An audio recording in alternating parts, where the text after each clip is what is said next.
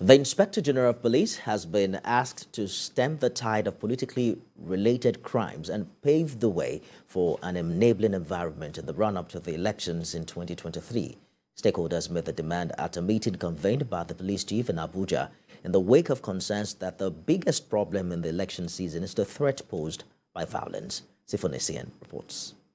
Campaigning and other political engagements are getting to a fever pitch in Nigeria less than 100 days to the presidential and national assembly elections scheduled to hold on February 25, 2023. Politically related violence has been on the increase.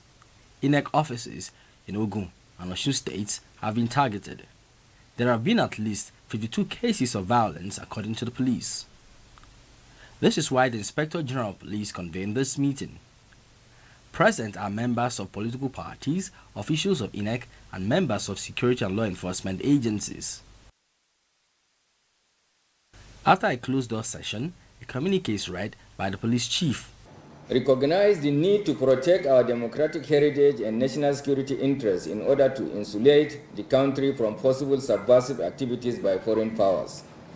Condemn in unison and in all ramifications the trend of political violence, hate speech, and other negative tendencies in our electoral process and reach a consensus to the need to present a common front with the Nigeria Police, INEC, military, and other security agencies in nipping the negative trend in the board. The resolutions go down well with those in attendance, but the concern is how it will be implemented. The communique raised by the Inspector General of Police is perfect, is in tandem with what we all agreed. But what we're saying is that the implementation must happen. It's not just the communique he has read. Today he has expressed the openness and willingness that he wants things to be done better. All of us appreciate the problem in the country. Now he says he's going to lead and ensure that the one that has to do with the police is done rightly. So we give him the benefit of uh, uh, that. This sets the stage for more engagement between political parties and security agencies in the country in the run-up to the elections. Sifon Essien TVC News, Abuja.